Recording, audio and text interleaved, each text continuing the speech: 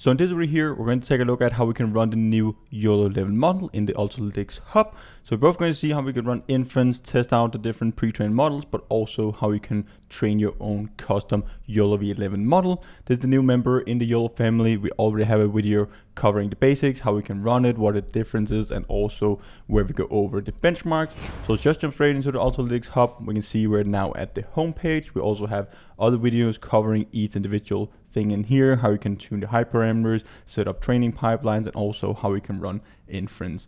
So right now we have our data sets, we have our projects, and also the models. If you just go in and take a look at it, we can see we have all the versions, all the variations of the YOLO 11 model. We see the mean average precision, so these are pre-trained models trained on the COCO dataset. So if you just go inside one of them, we can see all the different metrics, the mean average precisions, the precision recall. So these are the benchmark results.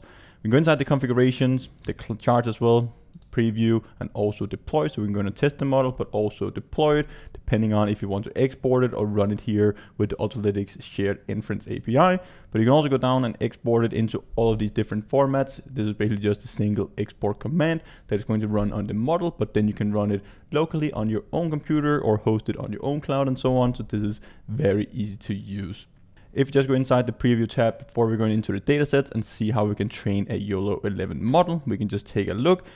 First of all, you can just drop in your own images here directly from your own computer, or we have these two examples. We can specify the image size. You can also just connect to the camera directly. That might actually be pretty cool to do. So let's go in and allow it. Then we're going to take a picture. So it's just going to open up my MacBook camera. We take a picture there we go. We can see we get these predictions. So it acts like things that this is a hairdryer, even though it's a microphone, but this is also only the nano model. We have a chair and also a person. So even the chair here does a pretty good job, 63% confident that this is actually like a chair. So that's pretty awesome results. We can always go and tune the thresholds here. So right now we might set the confidence score above 0.50 and then we like to like reduce these predictions. So this is pretty cool. You're going to play around with it. You can also go and use the example images. So we'll just take this one here. So we also get the boxes and we have our labels. So we're detecting four persons and a bus in this image, intersection over union threshold. All of that can be tuned in here. But once you have trained your own custom models, it is really easy to use and also just test out a bunch of examples to see if you need to retrain your model or you're good to go. You can go and export it and use it in your own projects and applications. So it's just going to find the dataset here that we can train our object detection model on. We can just do this brain tumor. So that is a pretty awesome one. Just go inside that, we can train the model. Again, you can use the Ultralytics Hub with the new YOLO 11 model both for object detection, instance segmentation, pose-estimation, oriented bounding boxes, and also classification. So all these tasks are supported with the new YOLO 11 model as well. So now we have our dataset. You just need to annotate it with a platform have the Ultralytics format. Once you upload your dataset, we have videos covering the whole format structure, how you can use labeling tools to actually like upload your dataset into the Ultralytics hub. So definitely check those videos out as well. Once we have our dataset, we can see we have our labels. We can just hit train model.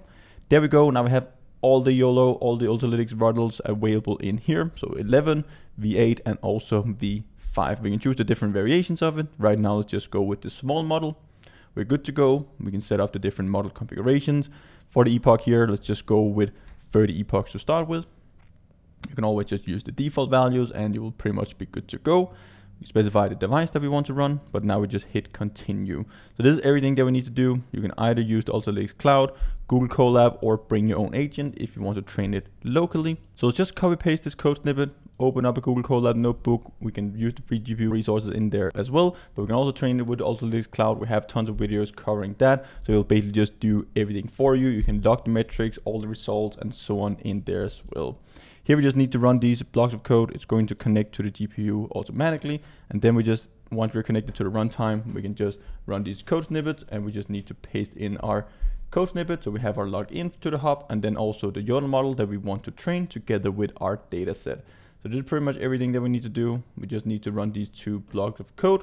We can then go back into our Ultralytics hub and just wait for a connection. Once it's connected, it's going to start the training and you will see all the results in here the exact same way as if you're using the Ultralytics cloud.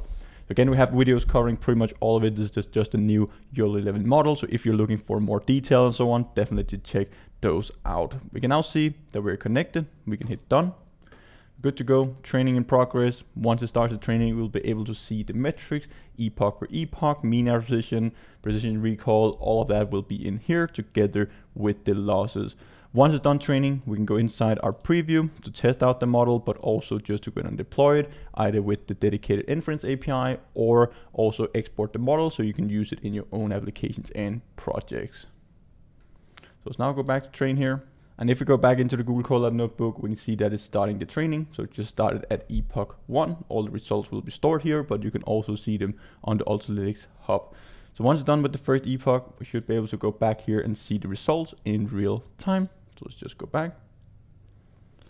So these are just the images. So these are the batches that it's passing through the model to train it.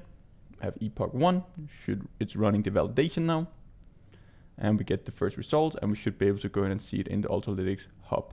So now we can see we've got the first values if we go down and take a look at the metrics. And then for the second epoch, it's just going to draw this graph over time for 30 epochs. So this is how easy it is to use the new YOLO 11 model with the Ultralytics Hub. We both went over preview, how you can run inference with it, export the model, the pre-trained version, and also how you can train it on your own custom dataset. So I hope to see you guys in one of the upcoming videos. Go in and train a custom YOLO 11 model in just a few minutes, and then I'll just see you guys in one of the upcoming videos. Until then, happy training.